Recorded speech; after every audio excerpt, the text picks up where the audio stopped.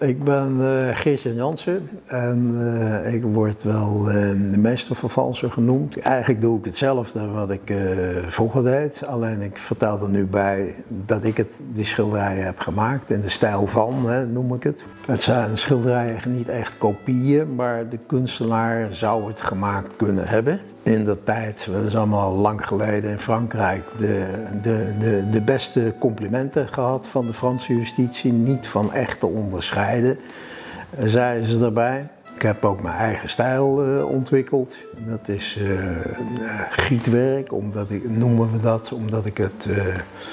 De verf niet met een penseel of een kwast opbreng, maar met een, een, een, een theepot. Met die tuit kan ik sturen. En uh, de Splash-serie, dat is ook een eigen uh, uitvinding. Daarbij heb ik um, de, een samenstelling van de verf gezocht. Waarbij, is een mengsel van, uh, van gesso, lijm, kalk, titaanwit en een beetje, een beetje blauw. Waardoor die schaduweffecten ontstaan. En daar heb ik een, echt naar gezocht. Het is echt een uh, soort formule die ik niet ook aan iedereen ga verklappen. En uh, daar ben ik wel trots op. Dat is echt mijn eigen uitvinding.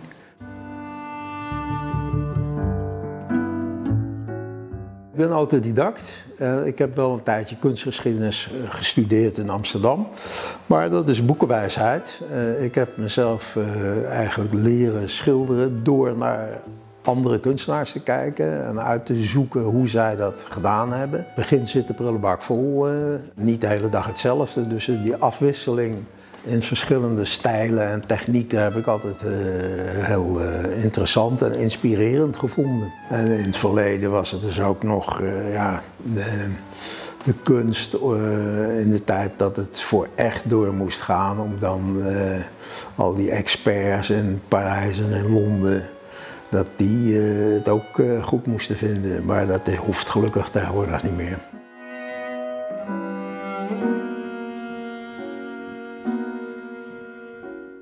Ik heb ook een tijdje in Frankrijk gewoond. En Frankrijk is de regel, alles wat op de veiling verkocht wordt, dat moet goedgekeurd zijn door een beëdigd expert. En daarvan denken veel mensen, dat moeten we in Nederland ook maar eens invoeren, want hier op de veilingen gebeuren ook, komen ook dingen tevoorschijn die uh, niet altijd even, even duidelijk uh, zijn. In Frankrijk blijkt dan dat de expert wordt betaald met een percentage van de verkoop. Dat kan 3, 4 of 5 procent zijn. En daardoor ontstaat er dus een situatie dat sommige experts, ja, die, die, die, die, die als het goede kwaliteit vinden, dan, uh, uh, dan zag je ze kijken van, ja, durven we het aan? als ze dachten, nou, de kans op gedonder na afloop is klein, dan, dan namen ze het wel in de verkoop. Ja, een expert die iets afkeurt, die verdiende dan niks.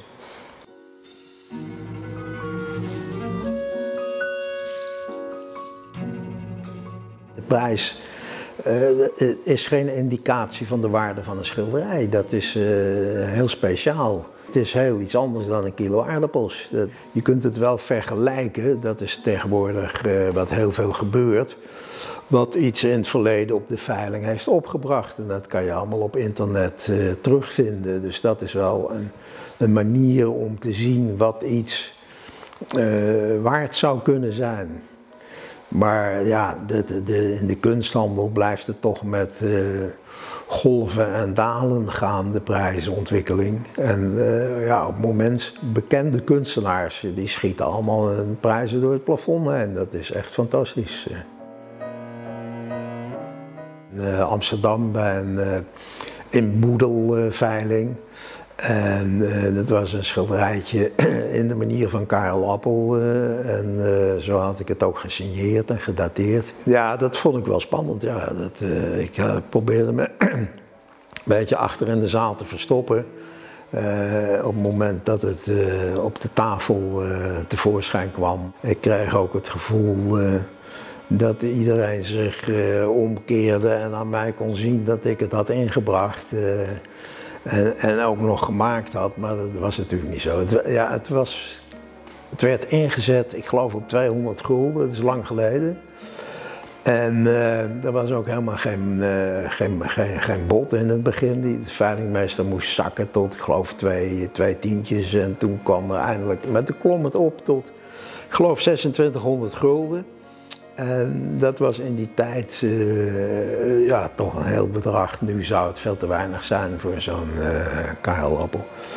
Maar, en de man die het dan uiteindelijk kocht, die liep meteen naar voren en rekende af en nam het onder zijn arm mee naar buiten. En ik ging ook een luchtje scheppen en dan hoorde ik hem buiten op de gracht tegen een kunsthandelaar zeggen, nee, dat is een echte appel. Ik heb het in dat tijd op het atelier van de kunstenaar zien staan.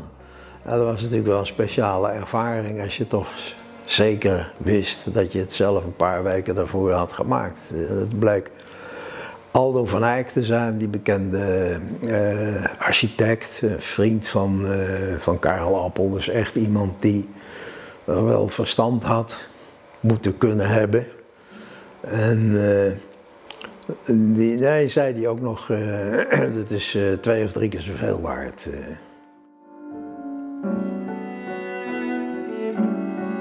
Heb uh, zoveel verschillende stijlen gedaan. Dat uh, ik vind impressionisme vind ik prachtig. Uh, ik vind Botero vind ik prachtig, die humor van zo'n zo kunstenaar. Ik vind Gustav Klimt geweldig, hele mooie dingen heeft gemaakt. Picasso vind ik ook een heel, ja, ja dat, is, dat hoef ik natuurlijk niet te zeggen, dat vinden veel meer mensen een hele groot kunstenaar. Heel veel mensen denken uh, bij uh, een bepaalde stijl, dat kan mijn zoontje van drie ook. Dus uh, Karel Appel, Miro, Willem de Koning. Je gooit een beetje verf op het doek, je smeert het door elkaar en dan heb je Karel Appel. Nou, zo werkt het helemaal niet. Dan krijg je een soort bruine brei.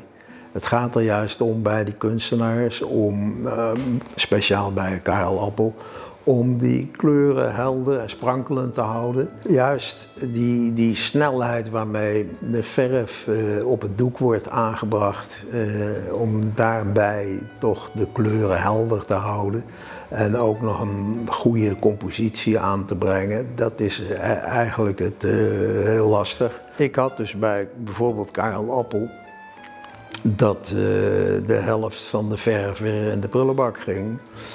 En uh, daardoor dacht ik uh, jarenlang, ik kan het eigenlijk nog niet zo goed. Totdat ik Appel in een documentaire eigenlijk precies hetzelfde hoorde zeggen. Dat bij hem ook de helft van de verf uh, nog van doek afgeveegd werd. Dus dat vond ik een hele geruststelling. Ik weet niet of je die kunstenaar kent, dat is Serge Polyakov.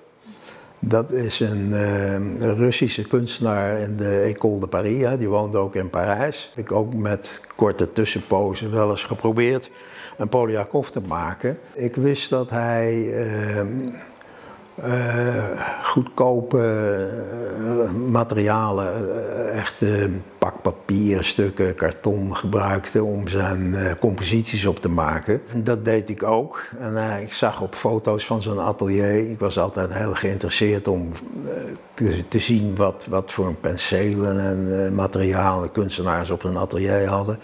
En hij had hele ja, goedkope kwasten met varkenshaar of zoiets. En dat had ik ook allemaal, maar toch lukte het me niet om het echt uh, goed uh, voor elkaar te krijgen, zijn stijl. Er ontbrak steeds iets. Daar was ik daar weer een keer mee bezig en toen kwam een vriend bij me langs en toen zijn we de, de, de stad ingegaan, heb ik alles op tafel laten staan. En wij zijn toen naar de paardenracen in uh, Longchamp gegaan. En uh, de, ik denk dat ik twee of drie dagen later pas een keertje thuis kwam. En uh, dan zag ik die, die potjes verf weer op tafel staan. En die waren natuurlijk ingedroogd en daar weer alles voor niks. En uit een soort balorigheid spuugde ik eens in zo'n potje met die verf en die, en die harde penseel. En ik roerde daar een beetje en dat was het. Dat gaf dat effect uh, wat ik steeds gemist had uh, in die schilderij van Poliakov. Dan kan je zien hoe toeval je dan toch iets ontdekt.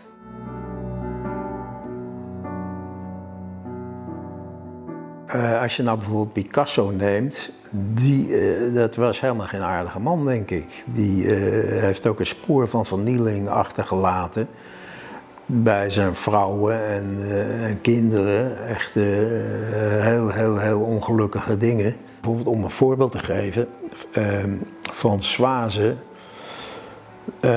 was dan, dat is de enige vrouw die bij Picasso gelukt is om zelf op te stappen en te vertrekken.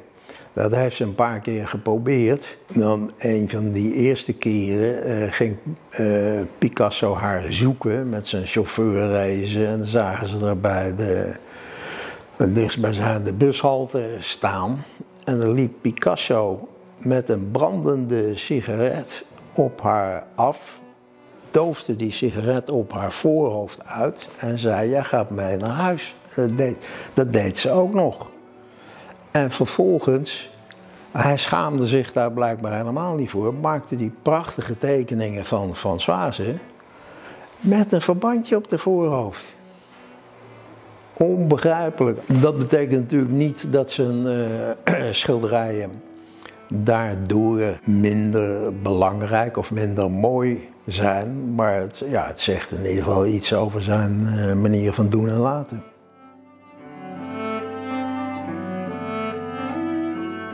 Kunst is natuurlijk toch een luxe, maar het verrijkt je leven, denk ik.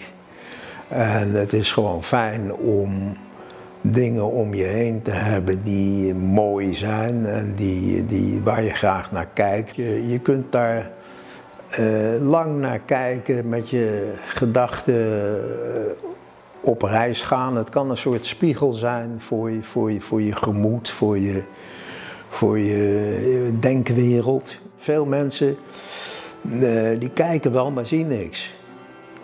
Dus dat is iets wat heel veel mensen niet gewend zijn om te doen. Die willen op een briefje krijgen wat het voorstelt en dan, dan, dan weten ze het. En dan, dat, dat zijn niet de echte kunstliefhebbers, denk ik.